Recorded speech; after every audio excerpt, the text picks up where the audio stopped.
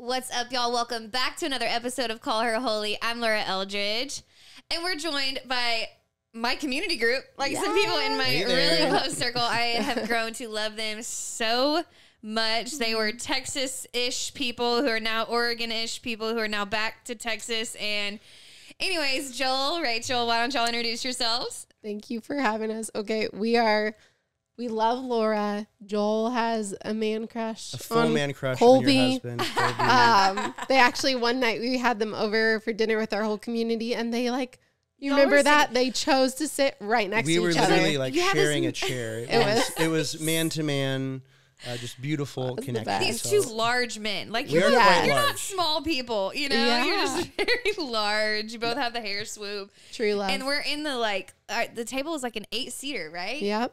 And you guys are literally on the like the head of the table, but the two of you in one little together. chair. It was very cute. It's very cute. So very cute. I was like, I love it. And Oakley, I mean, gosh, I can't.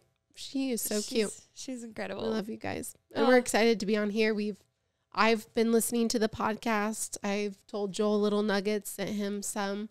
And so it's just a good opportunity to be in the room with you and get a share. We've done a lot of like ministry Yeah. talk. We Yeah. both lead nonprofits and so just cool. You know, something that was actually really important to both of us collectively. Someone we kind of all got connected through this, um, through our friend Ginger, but was to find people to run alongside who know the leadership sphere, the ministry sphere, because there's some unique struggles and some unique like challenges and temptations that come along with that that like anyone can speak into as a believer but there's something unique about having people that you're locking arms with Yeah. knowing like hey you're in different worlds but the same you know you're doing the same sort of stuff. And it is just like s- been such a breath of fresh air to like mm. lock arms with y'all and to mm. learn from you and grow alongside you um, when Joel, tell us when you guys got married. So they're married, if you haven't figured it out, and they lead a ministry called Four Two Three, which they're about to tell you about. Yes. So we've been married for 12 years. Uh, we have three daughters, eight, six, and almost four. Um, and it's just been a, a wonderful time. Um, you know, I always uh, joke that I had to trick Rachel. We got married very quickly, and it was just I had to I had to lock this in as quickly as possible uh, to get her to be with me. But we've um, been able to run this ministry together for a number of years now, and working together uh, is such a beautiful thing. And so Yeah. we love doing it. I love it. And y'all have such an incredible story of like redemption and grace, and God is using it in incredible ways. This is why you're here. One, you have so much wisdom to offer on so many different things, and every time you you guys speak, I'm like, tell me more. You know, just let me soak it in. Um, but like what we're talking about today, I feel like there really does need to be a louder microphone about this.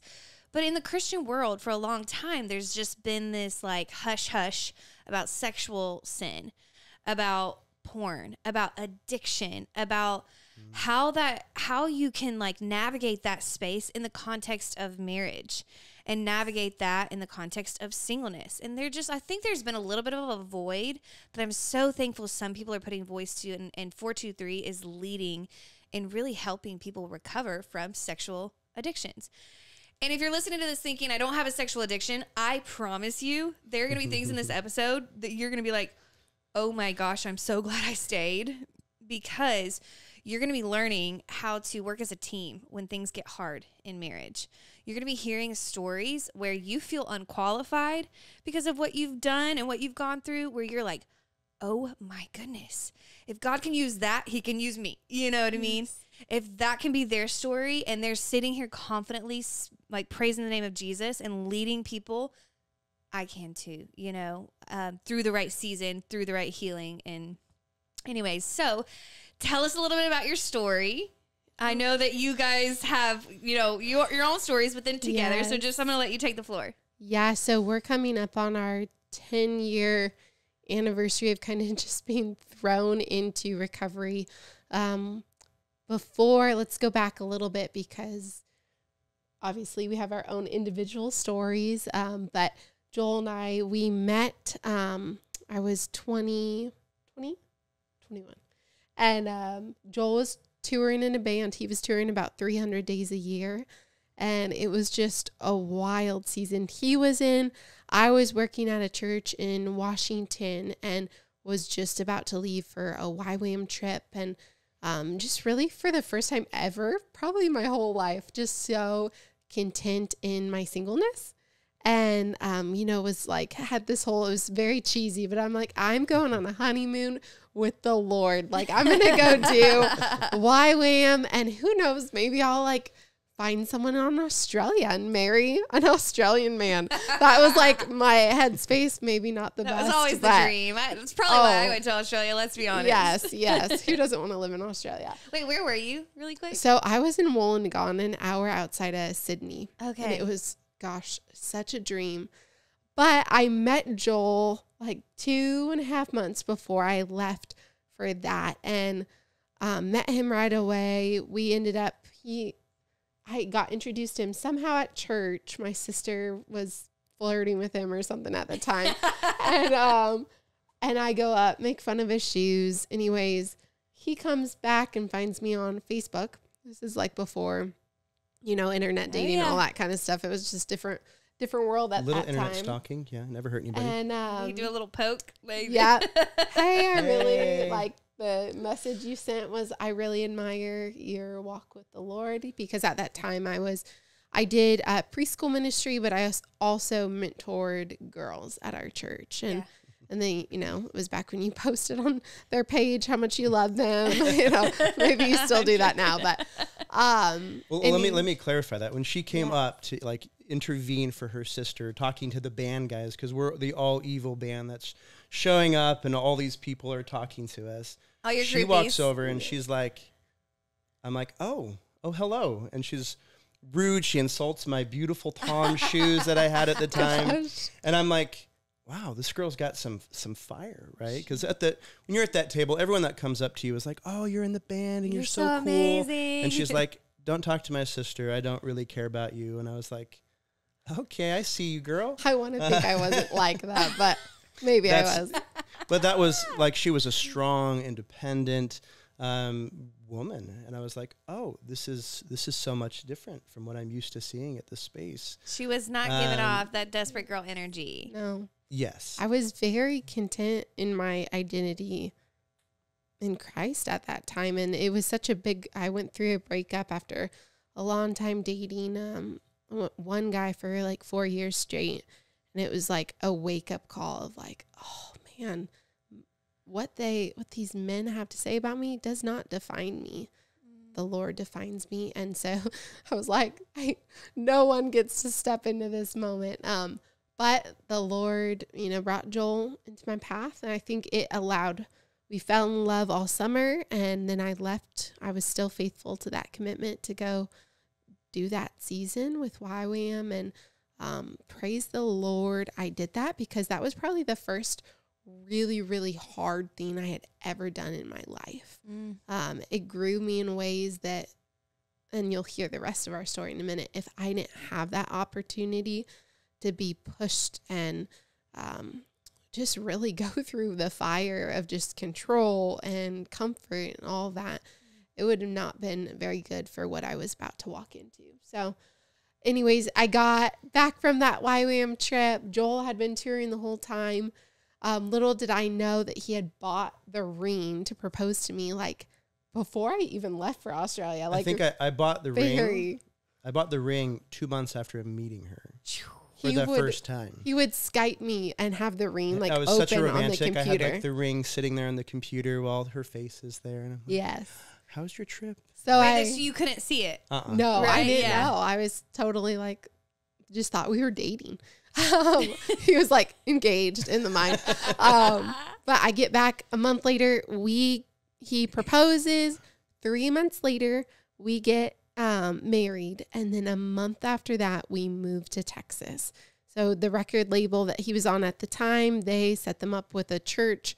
Um, and partnered with a church in Texas and were the worship band Yeah. and then they sent them out on tour. So that was just this crazy whirlwind of like a only God love story. It felt like the Lord was just like so faithful just to bring us together. We very compatible. Um, but as soon as we got married, and to go back for a second, Joel had told me in our dating season um, that he had struggled with pornography, but really made it sound really past tense. And I was very naive, did not know the right questions to ask. You want to speak into that a little bit? Yeah, I think I think the the conversation was you said, "Hey, some of my guy friends in the past have mentioned this as a problem for guys. How about you?" So immediately I, I got put on the spot of having to come up with this story, which for me, I had never had that conversation with anyone growing up. I had done a very good job of of living a double life and having this thing that you know daily like god I, I want to give this to you you're confessing and you're trying to move towards repentance you don't know how to stop, you don't know how to move into a healthy life. And so you just think that tomorrow is going to be a better day. Mm-hmm. And so when Rachel asked that question, my, my knee jerk response was, yeah, this is, this is a struggle, um, but I've taken care of it. Mm-hmm. And that this is not a part of my life. Um, it was a part of my past, and now I'm in a better spot. Yeah. Which was a way of just self protecting. It was a lie. Yeah. Um, because at that point in my life, um, it was a it was a out of control addiction to pornography, and so I desperately wanted uh, connection and relationship with this beautiful, godly woman who I so desired to be that man for. Mm. I longed to be that man who said, "This isn't a problem in my life, and it's not going to be from this day moving forward." Yeah, um, that's what I hoped and dreamed for. And so when she brought that to me, um, that was all I could think to say but that kind of set the stage for the rest of our relationship moving forward um, with her you know honesty just a, a pure heart and mind um, she's like great i have this good solid christian husband. We're going to ride off into the sunset of ministry together um, and do amazing things for jesus. And that's kind of where we started. Yeah and pretty much right away we moved to texas got married um, or got married moved to texas and then joined this church, right? And there was, you're immediately, when you're in leadership, you know, you're in a very public ministry, the band. Um, it was kind of this, okay, here's the pedestal, stay on it. Um, and right away, I was like, there is something wrong. We're just having communication issues. Um, Joel feels very hidden to me, but I didn't, I never connected. Oh, maybe this has to do with you know, what he shared in the past of his struggles with pornography. Um, and so I just kind of went along and maybe it was like marriage is maybe hard. I don't know. Um, earlier on, I tried to bring a lady at the church we were at into just some conflict that we were having and that I was having just in general relationship wise. Um, and she ended up going to the church staff and telling them and hey, Rachel and Joel are not doing well and they're probably going to quit. And then, you know, then they came to the band and that was just a whole thing. And so um, not handled well. Not handled so well sorry. at all. And it was in that moment, you know, I'm I'm 21 years old in Texas and I'm like, okay, we just have to figure out whatever is happening in isolation. And um next thing that happened yeah, I'll just kind of go into a little bit of my backstory because it really does set the stage for where we were at inside of our marriage. Yeah. Um, for me, now I get to work with hundreds of men, thousands of men all over the country. And the number one thing that I hear on all of the intakes with these men from 18 years old, even we even have teens in our program, so 14 years old to 80 years old, is that this problem began at such a young age. Mm-hmm. Around six to nine now is the average mm-hmm. age of exposure. And so for all of these men carrying the story, it was so similar for me. Seven, eight years old, I discovered pornography amidst my family's uh, separation and divorce.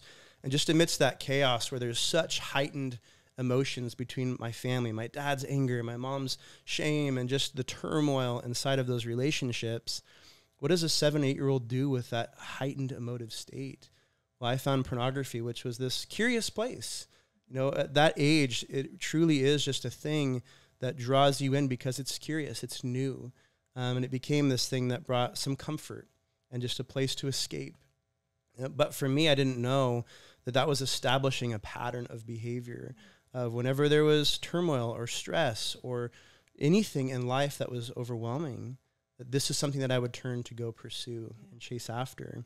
And so carrying that through junior high, high school, college, Bible college, ministry, international ministry, preaching, teaching, Christian role model, there's still this seven year old boy who's trying to figure out how to carry the weight of life, mm-hmm. um, especially as you get married and you want to become this man who can lead and this husband. And you see the expectation of this young wife who wants you to be this provider, protector, priest. And I'm sitting here going, I don't know how to manage the very basics of life outside of turning to pornography as a space mm-hmm. to find peace and comfort. Mm-hmm. Um, and so that really set the stage for our young marriage of, man, I had spent so many years um, up until that point pleading with God, right? Yeah. Just years upon years of crying out to God that He would give me relief from this um, growing addiction to pornography. Um, and even more so, stepping into marriage, where I have this beautiful young bride who I just so desire intimacy and connection with, and this inability to allow myself to be fully known. Mm-hmm. Because I know that behind that surface are so many things that I wish weren't there, mm-hmm. that I never felt like I could truly allow myself to enter into joy, to enter into relationship, to enter into the intimacy of what marriage can be emotionally, physically, spiritually. And so it just set the stage for just a tumultuous first year and a half of marriage where even the conflict of why didn't you take the garbage out just the basics of life um, would turn into a, a huge fight mm. because of my inability to be known amidst my shame. Mm. And so it was definitely just a, a crippling uh, first year and a half of marriage where we were left without a strong community, without pastoral care, without a recovery community to really figure out. Uh, the trials of marriage, which is hard enough as it is. Yeah, yeah. Um, amidst all the other things that you have to talk about um, having this um, hidden life underneath the surface um, was such a crippling piece of our start. Yeah. And during that time too, we weren't hearing any confessions from anyone too. Yeah. It's it's just the most isolating thing to be, you know, you know what's going on behind closed doors. Uh, for me, I couldn't really make sense of what was going on. Um, but it didn't feel right to me. It didn't feel like how I imagined marriage to be.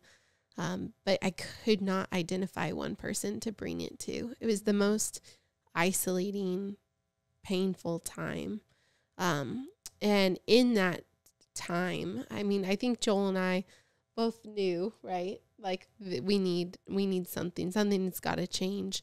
Um, and um, a pastor, a, a speaker came to the church and I think it was like the first time in our time there where they brought someone in from the outside to come teach.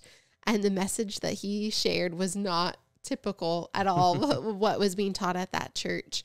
And um, I would love for you to kind of explain what that was because it, it really changed the course of our life. Yeah, so I'm sitting there in this church auditorium, and this pastor was Leighton Flowers, um, who came in and he shared about his journey of wrestling with pornography from a Texas Baptist stage. It was wild.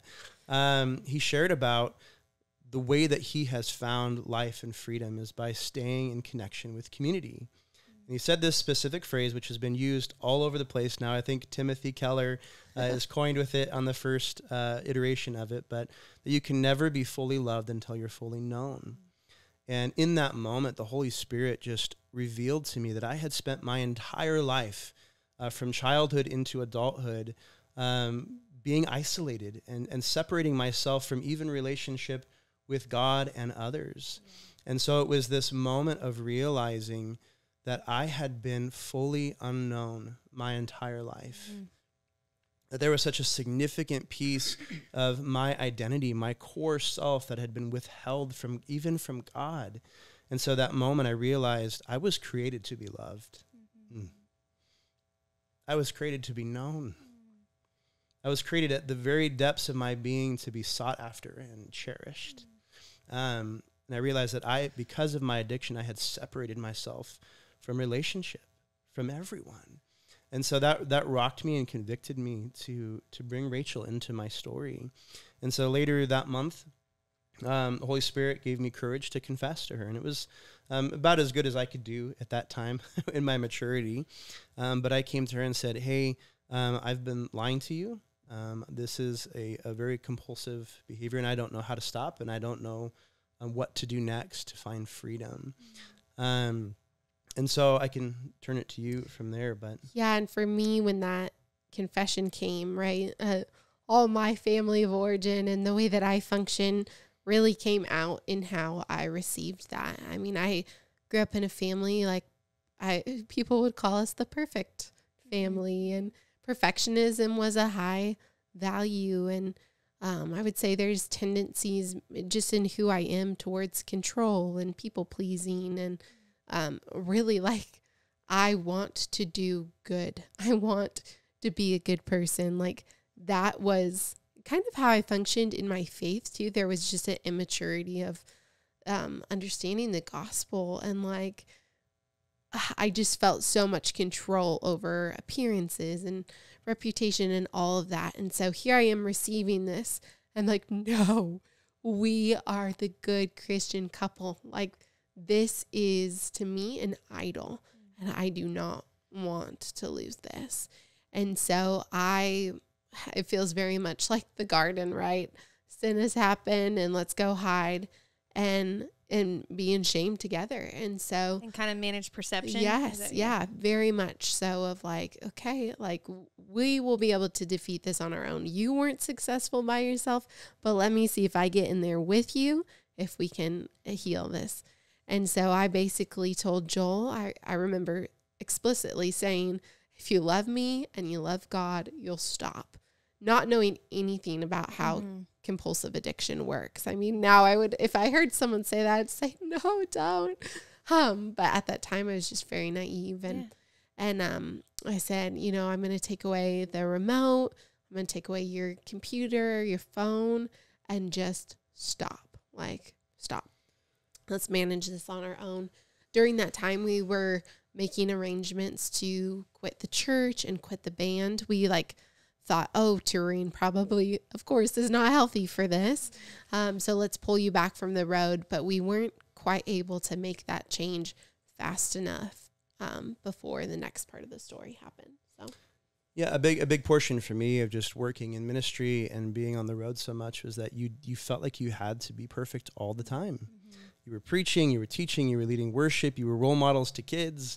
I was doing student leadership stuff at the time as well, and so it was just this I have to be perfect regardless of what's going on in the background. Um, and trying to to live inside of two kingdoms um, is is a terrible way to live. And so when confessing to Rachel, it was now the two of us are now brought into this isolation and secret, and now we're both living alone, trying to wrestle um, with all of these years of just built up um, shame and problems, and now working with people in this space. Um, you you cannot do this alone Yeah. the white knuckling, the the striving for perfection, the hey, this will get better tomorrow. I can do this on my own mantra. How, how does that fit in with scripture anywhere Yeah. um, of trying to overcome this without the body of Christ around you, where you can actually function inside of confession and repentance, inside of a safe community? Um, and so for us, it just it was a terrible stage uh, for us inside of marriage where you know, hey, we're just trying to um, put a cap on this pressurized system of addiction and behavior for so long. Now, working in this more clinical addiction space, um, that does not work. That's a recipe for disaster. It almost can help it go the opposite direction. Yes. Absolutely. Yes. Yeah, and so that that's exactly what happened for us inside of our story. Um, about three weeks or so into this, like trying to lock down inside of our world. I mean, at that point, I was a compulsive addict, almost daily using pornography. And if you know anything about how that addiction works with the brain and the body, I mean, you are dependent upon that as a drug. And for me, it was so true. I felt withdrawals and was just irritable and moody just because I had been removed from a 18 year practice of behavior. Um, so, unfortunately for me, my brain and body found a different outlet for my addiction. Um, I participated in the act of indecent exposure, and stumbling upon that um, was a surprise for me.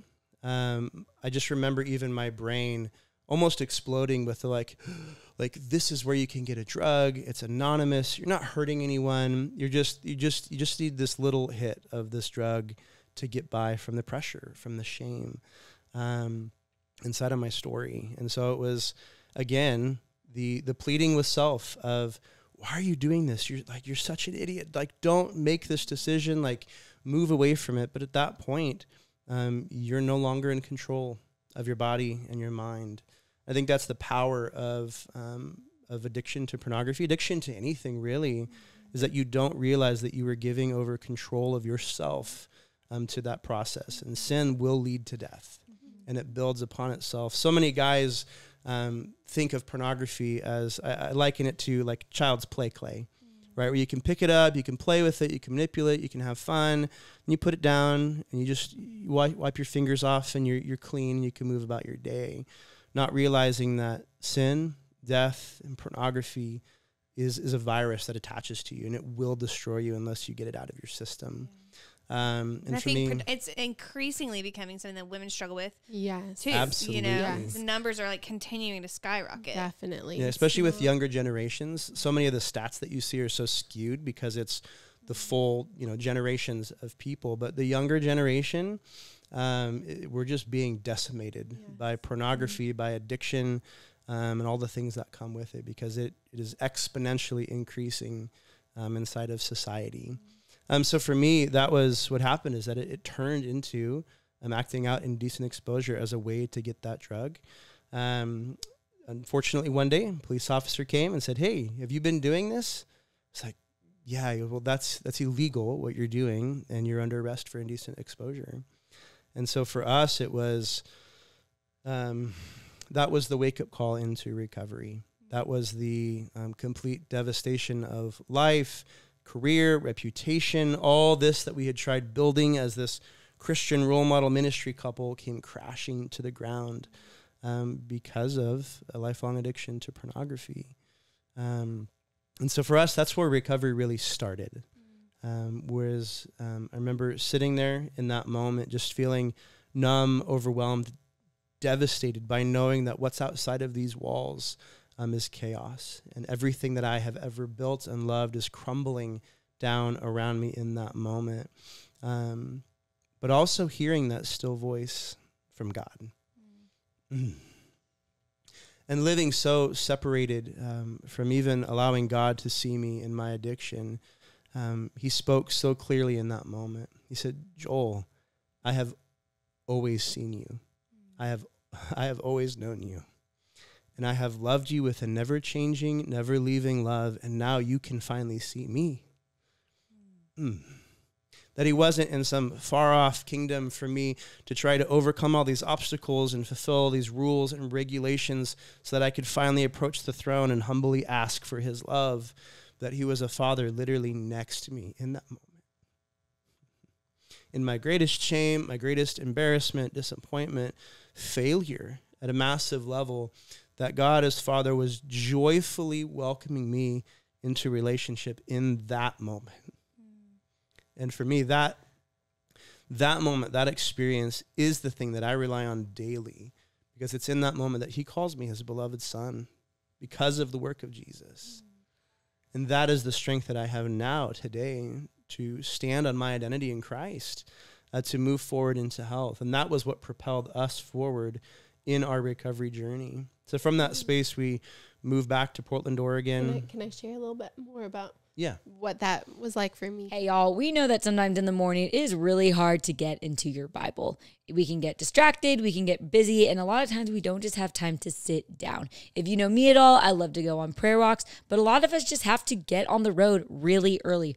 Or maybe you're just in a season where you don't have the margin or the ability to read and you need somebody to speak truth over you. Me and Laura have discovered the Dwell Bible app. What we love about this is that you can download the app and you can pick a voice that you love to listen to with music in the background, and the Bible can be read over you. What's changed my life is that I'm now doing two things at one time. And for somebody who's always on the go, this is so convenient. If you are having a hard time getting into your Bible, I promise you, you will love the Dwell app. They also have a new daily devotional feature, which is really, really cool. Um, I love having the ambient music in the uh, background. Ooh. It gives you space to just pause and reflect and really digest scripture. You can choose different voices for the actual Bible reading and then for the devotionals, they've chosen a voice that is really, really comforting. So these are incredible. It's going to be such a win. And we're actually giving you guys a discount. So if you go to Yeah, we are. dwellbible.com slash call her holy, you get 25% off. So you have no more excuse to not be in the word daily because you have Dwell app and a discount. Dwellbible.com slash call her holy. And if you want our recommendations, I personally love the voice Austin. He is vibrant, exciting, and I love the message version. I like my man Russell. Yeah, baby. For all like my single call me. girls, you've got all the boys on the app and you can download the it word today. to you. no, for real, this really is such an incredible app, and we hope you guys go download it because um, even even in grief, when you just can't keep fighting for your own um, like personal time with the Lord, like somebody can do the work for you, and you can just sit and take it in. And really put your mind on Jesus in a way that's going to be really fruitful for you. So please go to dwellbible.com slash call her holy and get your discount for the Dwell app. what that was like for me because I think, man, no girl walks down the aisle thinking that's going to happen the first two years of marriage, mm-hmm. right? I mean, it was beyond devastating. And um, I'm, I'm still heartbroken to this day that that's what happened, right? There's so many consequences to sin, and, and we're still really living in a lot of those even to today. But I think I knew in that moment, right? I remember getting that phone call from Joel and knowing how we had been living was not sustainable. That like that double life was not working and it was not blessing anyone. It was not blessing me and something had to change. And so although it really was the worst day of my life, it was also like this invitation to finally for the first time I was like, man, we are not okay. We need help. And Yeah. maybe this is an opportunity for us to get the right help. Right? There's no more hiding. There's no more living this double life. There's no more being protective of a reputation or other people's, you know, opinions of us. This is like really at the end of the day where you're just on your knees and like, Lord, what are you going to do? Like I can't control it even if Yeah. I wanted to at Yeah. this point. Yeah. We've lost everything. Um, I remember getting back from picking Joel up from jail that night. And, um, you know, I'd spent the whole night running around town to get money to do the bail and get back. And his bandmates are there and they want to get a confession from him of like, what has happened? And uh, I was feeling just so overwhelmed and just needed to go breathe in my room. I mean, the shock was just, I never, ever expected to get that phone call. I never expected it to go there from from the initial disclosure. Um, and I go to my bedroom, and you know, for me, that sermon that we heard at the church was not really foundational. I mean, I was there. I remember the moment. I remember the confession afterwards from Joel. Um, but for me, it just did not hit the same way. But I was like, going to my bedroom and just crying out to the Lord, like, what the heck is going on? And I just felt so clearly the Lord impress upon my heart if you love the man that's fully hidden, imagine how you will love the man that's fully known. Whoa. And it was just this like, I like still get chills to this day because it was this promise from the Lord of like, if you will sit through this, if mm-hmm. you will go through the pain, you will reap the harvest and it will be so for your benefit. Um, it's crazy now because I look back. Let me pull this up. I look back and I, the day before everything happened, right? I loved the Lord. I loved the word of God. Um, and I posted this on social media like you did, right? With your quiet times. Um, Second Corinthians 4, 8 through 9. We are hard pressed on every side, but not crushed, perplexed, but not in despair, persecuted, but not yet abandoned, struck down, but not destroyed. And I shared James 1, 2 through 4. Consider it great joy, my brothers and sisters, whenever you experience various trials, because you know that the testing of your faith produces endurance, and let endurance have its full effect, so that you may be uh, mature and complete, lacking nothing. And I posted that thinking that was a word for someone else. And then the next day, this is like foundational, the only thing that I have to stand on. I'm like, okay, that was from the Lord. And I'm going to believe that this is true in my life. Like, He will bring a purpose out of this pain. Um, but man, it felt so painful. It was the worst day I could have ever imagined. that is like so crazy. One, I am like, you know, teary eyed with you guys and walking with you now. And, anyways, um, I, when I prayed for you guys before we started the episode, Yeah. did you catch? I I prayed the same part of James. Gosh. It was like let like when I was talking about the wisdom, I was talking about let perseverance. How you guys have let perseverance finish its work, and you've become mature and complete. Just following us That around. is so funny. I but love I it. hadn't heard that part of your story. That was just kind of like what God brought to my Well- mind to pray for you guys. I love that. It really was like there we were lacking a lot in that season and we both knew it. Um Well, I think what's encouraging here is that like because literally my prayer was like mm. I- I'm sitting in the fruit of all you guys have persevered through, and there are countless men and women. I mean, even in our group and like our small body of believers, but then around the world, who are sitting in the fruit of the of the wisdom that's been gained from you guys' perseverance. And I think there are mm. people similar like sitting in similar situations where they just feel like their whole world just got ripped out and they're like I don't understand how God could do anything through this. And it's like just wait. Yeah. Yeah.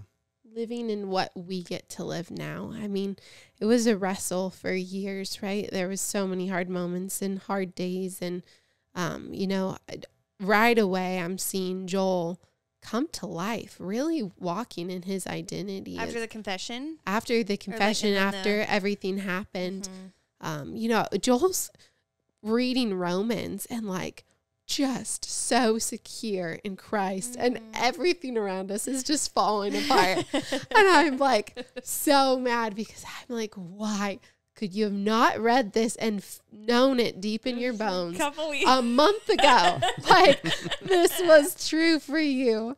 Uh, but that's Slow not that's not how it went down. well, and Um, you were pro- you might have been feeling a little free now, like because yes. now there's nothing else to manage, nothing else to hide. Yeah, there's there's no secrets. There's no. Sh- I mean, honestly, there's there's the shame of the behaviors and the aftermath. Got a misdemeanor, two years probation, um, but the freedom that I found in realizing the depths the depths of Christ's love for me, while I was still while I was sinning, Christ died for me and loved me and calls me His own, um, and that realization um, just transcended my inability to to acknowledge the love of God.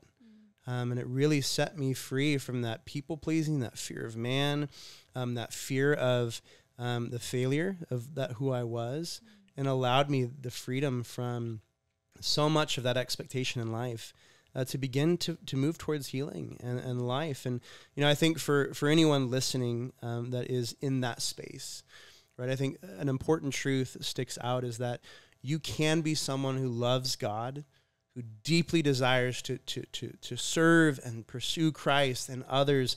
Um, and you can be someone who is wrestling with addiction.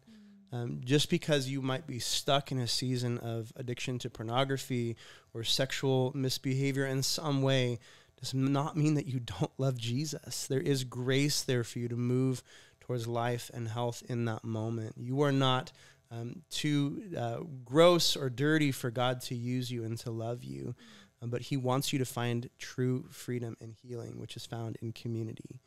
Um, so that's for us. That's where we moved. Is back to Portland, Oregon. I found four two three communities, which I now get to run as the executive director. It's wild. I, mean, remember. I, stumbled- yeah. remember dropping Joel off at his first meeting for 423, and I'm like, what are they going to do to him? Like, what's going to go on in there? And he comes out and he's like, I've never had that experience before of men confessing to each other, praying together, encouraging one another, reading scripture, like restoring identity. It was, I mean, the change in him right away was, it was amazing. I'm like literally so proud of the church. Like where, and I know there's still a uh-huh. lot of ground to take. But I remember similarly, you know, I grew up in church and I uh-huh. remember coming out of jail cell after getting a DUI and I, talking with my dad. And I'm like, this is the first time I've ever understood grace. Yeah. Mm. Truly. Like I had just been good, you Yeah. know? And I had never truly understood grace Yeah. until then and i i like i love the conversations that's shifting through things like your guys' story and people being really public about it now too to help other people find freedom of how the church is shifting to like we can talk about these things and we have to yes. you know what I mean? And this is not a perfect place. Like the church is a bunch of messed up people who have found that life is in Jesus, not in perfection. And there are still people living in the wounds of hiding so much. Yeah. You know what I mean? And managing so much and trying to white knuckle things and be really good. And it's it's like killing our souls. Yeah. Yeah. You know? And so it's like no wonder he found so much more freedom in like uh, when everything crumbled because it's like you're you know you're not carrying it anymore or you freedom and like hearing all these other people talk about it too because you're like oh my gosh i'm not a freak you know we're all sinners Yeah. Well, and the beauty of what a 423 community did for me, as well as what we do for men now, is it wasn't what I was expecting to step into a room with other Christian men. And what I've experienced before in the past was, okay, you're a problem. The group is going to pick up their hammers and hit the nail on the head until the problem is fixed. Um, and you step into a space where it's, hey, you just have this problem, and we're here to to force it out of you. Um, but it was stepping into a room of other men who had were in various seasons of their own recovery, and have them be curious on how my identity had been misformed and misshaped due to trauma, due to shame, due to all of the things in my life that led up to that moment. And so that's how we view addiction. It's not a what is wrong with you and how do we fix you. It's what happened to you that is causing this in your life. Um, and so that curiosity and compassion to get underneath the surface and realize that you are an image uh, bearer of Jesus, right? You were created by the God of the universe to bear his image and to have these desires and these longings for connection and intimacy that have been misshaped and misformed where pornography filled that void. And so these communities are that grace based space to come and be curious about self and find those underlying places that need to get healed in a safe community where we're not going to judge you. We're not even going to give you advice. That's a part of it, but we're more concerned about helping guide you to those places of healing that need to happen inside rather than just cramming down a bunch of do's and don'ts to try to fix you. And so that life giving community is really how I see the body of Christ functioning. Um, of gathering together weekly, confessing, encouraging, admonishing, lifting one another up, being curious. Um, we call it a witnessing community, a curious witness into someone's story to find that healing and freedom. Um, and for me, it was it was just life changing uh, to find that space uh, to be fully known. What's so crazy, I love hearing all of this. It's amazing. Ah, so many good things. um, what's so crazy is that, like, I think, you know, we hear the whole, like, don't judge me. And then it's like, okay, how do I reconcile? I'm supposed to judge within the church. And it's like learning what's the time and place for the right things. And I was thinking about 1 Thessalonians 5 14. It literally says, And we urge you, brothers and sisters, warn those are, who are idle and disruptive, encourage the disheartened, help the weak, be patient with everyone. Um, there are other translations that say, admonish the idle, encourage the faint hearted, help the weak, be patient with them all. And so there is a place for admonishment. You know, there is Sure. a place to step in and say like no i am called to judge you in this moment and you're living in sin and we've called you out you know what i mean Yeah. there's got to be you know correction care and correction here because we love you Yeah. Uh, you know and you're headed down a really dangerous path and then there's a place when you're like when somebody is coming with their brokenness where you're like i actually don't need to fix you i actually don't need to admonish you and beat you like the nail and hammer it in i need to come and listen and give you the space to say like hey we love you and guess what i'm gonna remind you mm-hmm. how much god loves you Yeah. you know Yes. and this is just a really safe space. And so I think as we're all like the takeaway in Yeah. your own little small groups, because I know a lot of people are listening who you don't they don't have community the way that we have it, truly. And they're I get the messages. They're going to their churches Yeah. and saying, Hey, can we please do this? And I'm so proud of your courage in doing that. But like you can start being the voice of like, hey, this is gonna be a safe space for people to confess sin.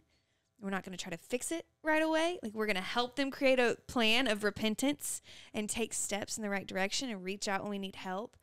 This is going to be a safe space for you to come and share everything. And I'll go first, you know? Yes. To have that long suffering with someone.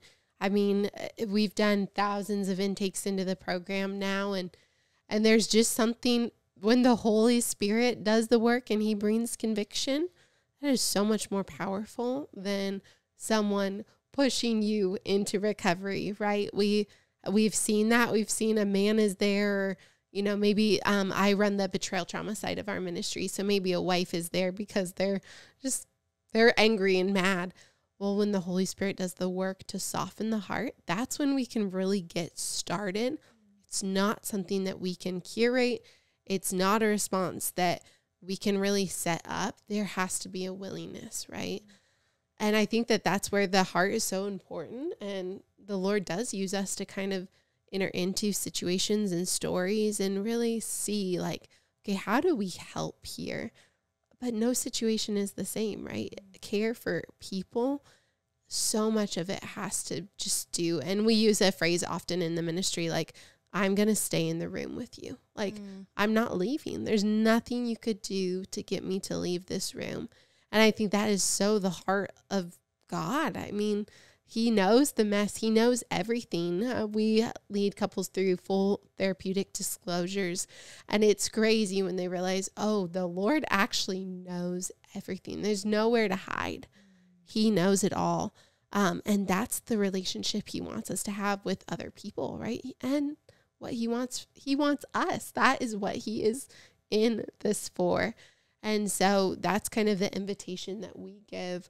Um, it's wild because we did not have that at all in our story, but the ways that I've seen the Lord work, uh, such a lack in our lives is now become this mission to, if we can make sure no one else has to go that next step, right? If you continue in sin, it's going to grow, it's going to get worse. Uh, Where you started, on the day that you started participating in sin, you would never guess that rock bottom moment is going to happen. And so if it grows, then what do we do to stop it? So that's Mm. what our whole mission is to get in there with others and just plead with them for righteousness. You know, be a part of the ministry of reconciliation. Um, but sometimes that's a long process. It is Yeah. not an overnight. Yeah. Um, you know, we always say recovery is not linear, and that's been our story. Um, and that's about every story that we walk with. We haven't, as the church, always been great at sitting with people and allowing them to be, you know, on their journey. And I think that that's something that we could grow in. Yeah, I think just even that verse that you shared about is like admonish the idle. But the someone who is in the process of pursuing health and recovery, that journey can be years. And so, how long can that place be safe for them uh, to work this out? I mean, you if you spend two decades building a pattern of behavior and a framework for identity, it's going to take a long time um, for that process to change itself. And so, even just an encouragement for those stuck in that spot, continue to do the work, even if you don't see the fruit right away Mm. never let the you know the the hiddenness and the isolation and the shame creep back into that room and take dominion over your life again. Yeah. find a safe community. That's what we do. Um, one of our main missions is approaching churches that don't have a healthy community for recovery and say hey our entire organization um, will facilitate run every aspect of this recovery ministry for your church so that no one in your community has to be alone in this struggle. They don't have to have any resources to manage this program. We do it for them because we are so radically committed to making sure that no one has to struggle alone. And there is a safe place where they can be equipped, seen, loved, and walked through. If it takes them five years to get Yeah. there, we will be there with them every step of the way. as well as having a space right now in groups all across the country and online for that person today who needs to find a safe community. Um, they can get plugged into a 423 community and find recovery now. Men, women, youth, women going through uh, betrayal trauma. There's a group for everyone. And so we've always come to this issue as like sexuality is something that we all have to steward, right? It would be like if we just stopped looking at our finances or stopped working out, like what would happen from that? And so it is a worthwhile process to really build a team around you of Yeah. how are you using your sexuality and what does that look like Yeah. in your life, whether that be, you know, maybe it's a, a, a temptation every so often, or you are deep, deep into addiction. Um, it is not something to go about alone. And I hope this story brings other people out of hiding. Yeah, I'll- I'll say that the number one excuse that I hear from most men and women is that it's not that bad. Mm. I'm not a sex addict. I'm not haven't been arrested for this. I'm not doing this Not or that. cheating. Yeah. Not cheating. yeah. It's just the occasional um, scrolling through Instagram and looking Yeah. at things you shouldn't, or the YouTube, tro- the doom scrolling as we call it, um, getting those small hits of, oh, I shouldn't looked at that. I shouldn't looked at that. That is building a process that is trying to destroy your soul, Mm. right? And so getting that into the light, into confession, and into community um, is is going to be the key to life in that area. Um, and so don't just think because I'm not a sex addict or cheating uh, that I don't have a problem. Yeah. Um, Yeah, that's really, really good. So 423 has a space where anyone in that journey, like struggling, whether you're like, hey, I've never confessed this to a soul. And mm, I it's not just pornography. Like you guys cover sexual addiction in Yes. so many different areas where it's like, okay, you know, I'm acting out in ways that I deem way more preposterous or the society would deem way more preposterous uh, than that. Um, and you said for women, so it's like women struggling yes. Actively. And then I want you to talk about the betrayal and trauma, like part of it, because there is something unique here in that you guys are still together. You know what I mean? And that is a picture of the church. And there's like, there's a lot that goes into that, into both of you together pursuing healing together. You know what I mean? yeah. Um, and there's a lot that you experience on this side of it. Yeah. And so talk about that for a second of as a wife, and then I want to kind of separate out. Um, I know I'm throwing a lot at you, but I do. I want to that, and then I want to separate out um, a question that I get a lot, which is girls in the dating and engagement, Yeah. who are coming and asking, okay, he keeps looking at porn, and is it why you know he's trying to stop? Is it wise to move forward? yeah. And so, um, yes. let's talk about Yeah. So for me, I mean, so beyond painful. I this is a you know we told the beginning part of the story, but then there's all the in between of all those years. It was very very interesting to see Joel. You know everything happens. He has this immediate release of shame and wa- is walking in freedom. And if I'm being honest, I feel like he got to lay down the weights and just put them right on me because I went through so much pain and shame and just the enemy just whispered every single lie he could about my worth as a woman and and uh, oh my gosh it was just awful. The depression that I faced those first couple years would not wish it on anyone. Um, but really there was a pivotal pivotal moment in my walk where I was like this is not I cannot continue to live under this shame.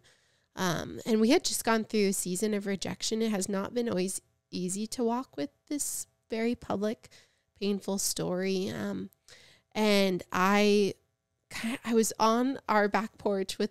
We have our middle's named Mercy Rose.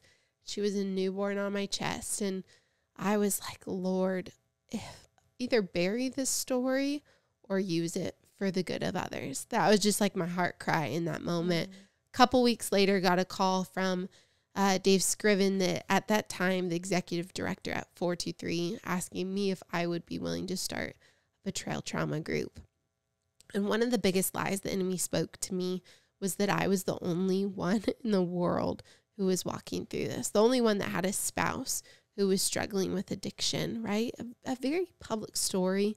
And women were not coming forward to me at all. I, I was so severely isolated um, and really did. I mean, I just felt like, yeah, I'm the only one walking through this.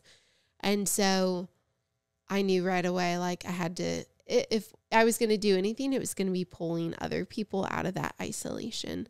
I'm very stubborn and I love the Lord. And so I'm like, if we're going to do this, Lord, we're going all out. Like, we're doing a ministry. I love like, it about you. I'm going to share this story with every single person that's willing because maybe it's not their story, but maybe they know someone. And if I can have them be a trauma informed, kind presence when a woman is confessing something that they never wanted for their lives, for their marriage, um, if we can change that, then let's do it. And so I started 423 Sisters. Um, and it's really a place where our highest priority is community. That you would not live in isolation and shame over what is happening with your partners, acting out behaviors, um, safe space. We always do a check in time. And then I wrote a cur- curriculum that we go through that's just really, I call it like the Betrayal Trauma 101. Everything that I wish someone would have passed me when this phone call came and this situation started. Um, I've written down and best practices and what to do and you know how to process through trauma triggers and how to walk through grief and how to actually you know attune to your body's needs and practice self-care and just so many of the pivotal things when you are on this journey because it is really traumatic i mean the lord has designed marriage for such a great purpose and part of that is to be able to have trust and unity with your husband, right? And this really calls that into question. And so that was our heart for doing that. I've I've had hundreds of calls. It's crazy because I never wanted to be the phone number that people would think mm. of for this. Um, but I've seen the Lord so faithful. I was I was telling someone the other day I was on a phone call in one day with a woman that was days after disclosure, a woman that could barely get through our intake call because she was just in tears. And then at the end of the day, uh, ended by talking to someone whose husband had just also gotten arrested. And so, man, what the Lord has done, He's been so faithful to just heal parts of me through being in relationship with other women and to get this is how I share the gospel. This is the hope that we have in Christ that He will sustain us through the darkest seasons of our life, and He wants to be in it with us. And it's it's been amazing, um, so painful. But I would say for women, um, you know, maybe you're dating someone who's struggling with addiction, you're not yet married. Um, I would just urge you. My biggest thing is have the conversation and really watch for the repentance. Like, what does that look like in their lives? What are they expressing to you? What does the disclosure look like? What does their accountability team look like? Is it just you and him um, talking about it in isolation, and then you're going from there and walking towards um, engagement or marriage? That's probably not going to be good. And that's like, if I could just urge them to do anything, bring people in, bring pastoral support, you know, have him be in a recovery group. This is not something that he should do in isolation. We now get to do a lot of premarital work, Yeah. which is like my favorite thing. If we could just switch the whole ministry to that, I would be thrilled because my vision for us is we go back in to get the people that we were, right? That's that should be our heart. If we go through any trials in our life, it's like, okay, what can we do to share the love of Christ with other people through our brokenness? Um, I think a lot for like the further you get down the road, the harder it is to break it up. Like statistically, people are more willing to break off a marriage than break off an engagement. yes. And you know, you can almost idolize marriage to a certain point that that puts that over the person Mm. you- you're saying that you love puts that over their health. Yeah. And so the best thing could be in that moment to say like, "Hey, sexual sin is an indicator of a spiritual issue. Period. End of story. Like you said it, Joel. Like you were, you were looking for an escape. There was something, something you were. That was the um, comfort that you were looking for to escape from something else. Um, whether it's like you know, pornography is my. I don't feel respected, you know, and then this Yeah. I feel powerful here. You know, I feel male or female, I feel something different here, you know, I, or I just got made fun of, and I'm not going to get fun, made fun of in this space. Mm.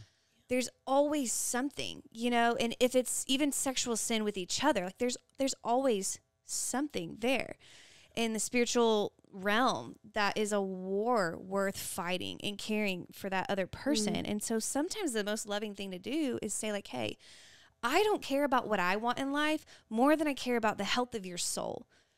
So I'm gonna I'm gonna point you in the right direction and help you get healthy and then know what's my space here. Because my space like my place and role in this is going to be different as a wife than it would be a girlfriend or a fiance you know what i mean? Definitely. and sometimes that might be like hey i'm going to step back and let you pursue health and i love you and i care about you and i'm here for you you know? Yes, I think back, um, and I'll let you speak into that too. But I think back in the most loving thing I could have probably done for Joel when upon that confession was to say, "Go get help." That would have just Yeah. been so kind yeah to him. He, you're my brother in Christ. Go get help. I want you to have sobriety of mind. I want you to have a right right relationship with Christ. Um, and so I do I do think it's important as a girlfriend, fiance, to question your motives too of like why aren't you asking them to step into recovery? Is it because you a pride issue of not wanting to disrupt the wedding day or all of that stuff? The Lord will be so faithful to heal all those details and all of that. Um, so something to ponder. But I want you to speak into that. Yeah, just a few practical things Yeah. there. Um, if if there's a young lady who's dating a, a guy, right, and he uh, confesses to a pornography struggle, um, I would say that that does not disqualify him for a relationship. I think there's a lot of models out there that are like, "Oh, don't ever date anyone who has ever looked at pornography." Unfortunately, that that, that disqualifies the major- the majority of the population now. The younger demographic, it's 60 to 90 percent um, of men, about 40 to 60 percent of young women are using pornography, and so that um, there is hope and full restoration is available for f- uh, a flourishing marriage with intimacy and connection. Uh, pornography does not have to be the end um, for either side of that. The other thing is is that if you have a partner who is not willing to commit to actively pursuing health, that's a major warning sign. yeah Um, but having grace for that moment of saying, "Hey, what does it look like for you to step towards this and pursue?" Yeah. And that's an okay thing to ask. Um, perfection will, will never be obtained in this life uh, until we reach heaven, right? But someone who is actively pursuing health and doing what it takes to um, Yeah. to move this forward towards restoration is, Yeah. is something to keep an eye out for. Yes. Absolutely. I think that's an I'm glad you touched on that because I think there is I mean there are two sides of the coin. Where I, I think there's the you know, the church um purity culture ho- which we can acknowledge has harmed but there's still really good in it. Don't throw the baby out with the ba- bathwater. But um where like the highest thing to hold to is sexual purity and then you have these young girls and who are like now i have to grieve if my husband you know i don't want to marry someone who isn't a virgin or i don't want to marry someone who has ever had a struggle like that Yeah. Um and it's pride you know it's pride. Or even on the guy's side of like i don't want a girl who has a past. I'm like that's you don't understand the love of jesus you know? And yes there are very real consequences that you're bearing each other's burdens and you know living but you don't know how like when god redeems something a lot of times in scripture you see that it's better than when it was before it was broken. Yes. Yeah. so anyways so there's like that token of things where it's like we can hold this thing too high and expect perfection in a way that isn't helpful you know because we don't know how to handle sin and we don't have an appropriate view of grace but i think there's Yeah. another coin where again like the i think people are just think it's going to get better you know Yes. And that's probably my biggest thing is for the girlfriend or boyfriend, whoever's uh, being the one receiving the news, right? You are not their accountability partner, and you're not going to be the person that can rescue them Yes. from the addiction, right? I think I talk to a lot of young girls who are like, we've actually we've started to have sex because he struggled with pornography, and I'm hoping that that will help take it away. Correct. That is not how addiction works No. at all. Mm. It is not how it works, and it will not lead to the betterment of your relationship long term. It won't help him out with the addiction. So, like, just take that off the table. It's not wisdom. Um, and then another thing, too, I would just urge you if you are in a relationship with someone and you are struggling, confess the full reality of the struggle it's so important for them to know what they are signing up for. It is not, ah, man, getting couples, right, that have just walked down the aisle and they've just gone through with the wedding day and they are now getting the reality. I mean, I, I, and then we see the opposite, right, where it's, it's been confessed during the dating period. He's in recovery and, you know, maintaining sobriety and she has the full breadth of the struggle she is getting this consent in what she's actually signing up for, which is so kind, Yeah. right? Yeah. And I just think more couples, man, that should just be let's put everything out on the table because the enemy is a liar. The Lord is going to reveal everything. Let's do it now. Like marriage is too sacred Yeah. to go in with lies and deception and um, you know, act like we're not sinners. Like Yeah. we are so broken, but the Lord will use that for the good of us, the good of others, and for his glory if we allow it. But we have to be willing participants of that. So, so good. Uh, the last thing that I'll say on that, which I know we would, would all be in agreement, like there's a difference in struggling and giving in. Yes. And I think a lot of times when we come and say, I'm struggling with something, it's like you haven't actually taken any steps towards repentance. You're placating, like, okay, I've confessed, that's enough. You know what I mean? Where it's like, no, you're not actively struggling. And so there is a difference, I think, especially in the dating period, as you're assessing, like, hey, is this someone that I'm going to willingly yoke myself to, who is in a spot to lead me? You know what I mean? Doesn't mean he can't be down the road or, you know, whatever that looks like. But right now, is he in a spot to lead me? And what that might look like is like, okay, is he struggling well? You know what I mean? You know, Colby, I remember Colby coming to me and dating and saying, like, hey, this is still Facebook days. And he goes, I deleted my Facebook because a picture popped up and it was temptation and part of my past. And so I immediately deleted social media, talked to my guy friends, and then I want to let you know, you know, that those thoughts were there and that mm-hmm. temptation was there. And to me, I wasn't like, ew, how could you? You know what I mean? It was like, that's the kind of man that I want to follow because what you just showed me is that you're serious about sin. You know what I mean? Yep. Versus another dating situation that I've been in where it's like, okay, you're going on two hour bingers, you know, multiple times, you know, for different, like you're not well and you're not pursuing healing. You know what I mean? Yeah. And and you're not in a spot to lead me or anyone well.